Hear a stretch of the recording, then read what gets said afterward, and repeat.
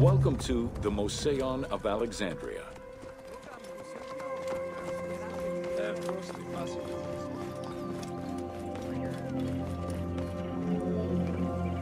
The Mouseion was a sector of the city commissioned by Ptolemy I to rival Athens Academy as an institute of intellectual pursuit.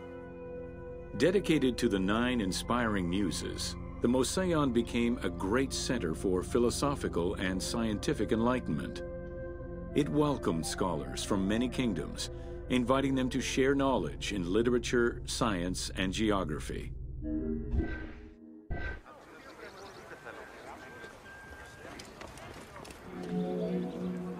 The Mouseion was designed so that its buildings and grounds would accommodate free thinking, debate, and presentation. Meeting spaces and theaters surrounded a main courtyard.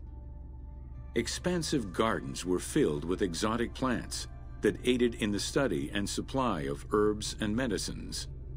A zoo offered the study of animal behavior and physiology.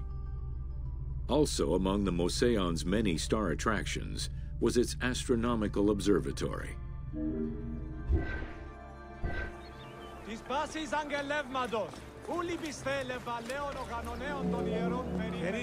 Herophilus was a physician who lived most of his life in Alexandria.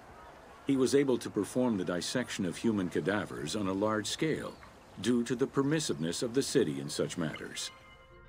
Among many other discoveries, he learned that the brain was central to the human nervous system. He also extensively mapped the blood system and measured the pulse with the aid of a water clock. It is reported that in his thirst to understand human anatomy, he performed 600 vivisections on live prisoners.